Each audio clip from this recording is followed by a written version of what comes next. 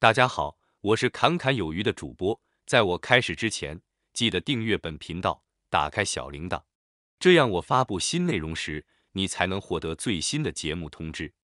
台积电作为晶圆代工行业的老大哥，制造晶片的精湛技术一直遥遥领先。虽然三星一直是台积电在晶片行业的对手，但是在七纳米、五纳米以及四纳米工艺中，台积电都全面碾压三星电子，而且由于三星在五纳米、四纳米以及三纳米 GAA 代工良品率过低，导致不少合作伙伴都倒向台积电。其中最典型的就是高通和辉达。近日，台湾媒体称，市场传出台积电为应对成本上涨，计划在下半年调整晶圆代工报价。这也是在半导体寒冬之后。晶圆代工费用再次上涨，不过针对此消息，台积电并没有发表评论。在五纳米工艺时，采用三星五纳米工艺制成打造的骁龙八八八翻了车，即便给了第二次机会，在三星四纳米时候，骁龙八战一再次翻车，也让高通头疼不已。这迫使高通不得不将之后的订单悉数交给台积电。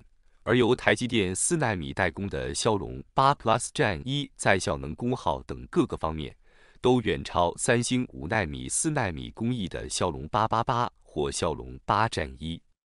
这主要是因为三星的五纳米、四纳米工艺对比台积电的五纳米、四纳米工艺，在电晶体密度这块就相差了百分之三十五左右。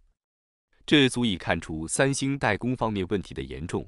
在可靠性方面，台积电还是有着非常大的技术优势，即使是在三纳米工艺上，三星宣布全球首先进入量产也无济于事。在此基础上，台积电的代工费用也屡创新高，三纳米十二英寸晶圆更是突破两万美元的高价。这是一个什么概念呢？一块十二英寸的晶圆面积大约是七万零六百五十九平方毫米，而一块三纳米的晶片面积。大概是七十平方毫米，在台积电良品率百分之一百且完全没有边角料浪费的前提下，也只能切割出一千颗晶片。更何况这完全是不可能的事情，良品率达到百分之九十就已经非常高了。这与传闻称三星在三纳米工艺中的良品率仅为百分之二十形成鲜明对比。那么，假设台积电两万美元的代工费。可以切割出七八百颗晶片，每颗晶片的代工费费用也令人啧舌。这还仅仅只是代工费，还没算后期研发、流片、封装等一系列费用。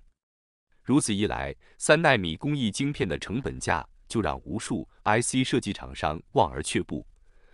而即便生产出来这部分成本，最后势必会转嫁到用户身上。回看台积电这么多年以来的代工费用。二零零四年九十纳米晶片的代工费仅为两千美元，二零一六年的十纳米就已经飙升至六千美元，而七纳米时代更是直接破万美元，五纳米就已经高达一万六千美元。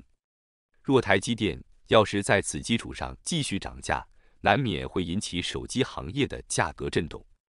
不过，业内人士在听到这一消息后，却表示这一消息或为误传。因为台积电的策略不会任意涨价，加上目前正值半导体库存调整关键期，台积电应会与客户共体时间，让客户先完成库存去化，以利于产业结构发展。去年中旬，台积电和 IC 设计客户研讨商议今年价格时，已将通膨与海内外扩产成本上涨等因素纳入考虑，并于二零二三年初调整各制程报价。平均涨幅约百分之三起，并且在成本方面，供应链则认为台积电在美国建厂属于专案投资，相关费用在台积电每年稳定现金流支撑下属于专款专用。若建厂成本上升，台积电更可能会转头管理供应链，向下砍价，而非对客户调整价格。不过，即使如此，目前三纳米工艺制成的代工费。比起之前，也已水涨船高。随着高阶智慧型手机价格一路飙升，后续手机涨价或也难以避免了。近日，关。于骁龙八 Gen 三的新规格讯息已经不绝于耳，但是现在关于骁龙八 Gen 四的消息也已经开始流传。到二零二四年，高通的旗舰 SoC 应该是第一个采用客制化 Nuvia 内核的。据称，由于采用台积电的 N 三 E 工艺批量生产，这款晶片不仅节能，而且传闻中的多线程数字也显示出令人印象深刻的飞跃，效能比苹果的 M 二更快。随着苹果公司似乎获得了台积电产品的大部分三纳米晶片供应。一名爆料人在他的推文中表示，骁龙八 Gen 四将基于全球最先进的晶片制造商台积电的 N 三 E 工艺，也就是其第二代三纳米节点。该版本预计将在第一次迭代中提供更好的效能和能效数据。据消息人士称，证据似乎在多核数据中。与骁龙八 Gen 三相比，骁龙八 Gen 四据说不仅放弃了。由 ARM 的克制化的 Orion 内核的 CPU 设计，而且据说该重大改动提供了高达百分之四十的多核效能提升。在爆料者的推文中，其还指出，在 Geekbench 五的多线程基准测试中，骁龙八 Gen 三可以达到六千五百分，但在同样的测试中，骁龙八 Gen 四可以突破九千分的障碍，在这个过程中超过了 M 二。作为参考。M 二在 Geekbench 五中可以达到八千八百至九千分。根据其推文中列出的规格，高通将采用两个 Nuvia Phoenix 效能内核和六个 Nuvia Phoenix M 效率内核。然而，有业内人士认为，官方名称可能基于 Orion，因为 Nuvia 是高通收购的开发克制化 CPU 设计的公司名称。两代晶片组之间的单核得分差异只有百分之十五。所以，苹果的 A 十八 Bionic 有可能在一次测试中毫不费力地击败它。尽管现在评论还为时过早。除了骁龙八 Gen 四，据说高通还在开发一款十二核 CPU、具有八个效能和四个能效核心的 SoC，称为骁龙八 CX Gen 四。然而，与可能出现在手机上的骁龙八 Gen 四不同，由于广泛的规格泄露。骁龙八 CX Gen 四可能会为小巧精便的笔电提供动力，其中还谈到了 NVMe、外部 GPU 支援等。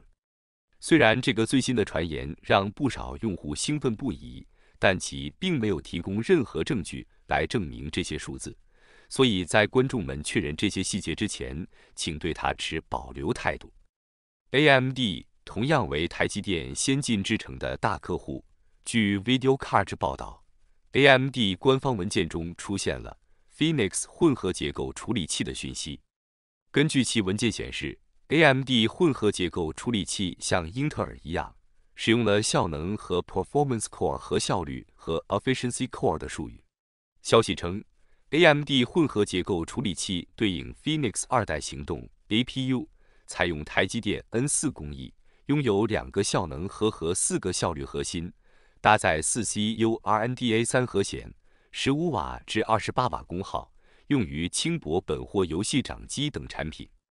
该系列处理器旗舰型号预计为 R 七七七四零 U，比全大核的 R 七七八四零 U 低一位。不过，目前 AMD 方面暂未宣布何时发布该系列大小核处理器。目前，据业内的消息称，苹果、高通、联发科和英特尔。已经提前预定了台积电2023年和2024年的产能。即使是晶片行业日益萧条的眼下，台积电的晶片代工业务依然如火如荼。这就是核心关键先进制程技术领先带来的优势。那么本期影片到这里就结束了，感谢你的观看，期盼能与你产生共鸣。侃侃而谈，阔论有余。最后，请你点赞、订阅。这是对本频道最大的支持了，谢谢。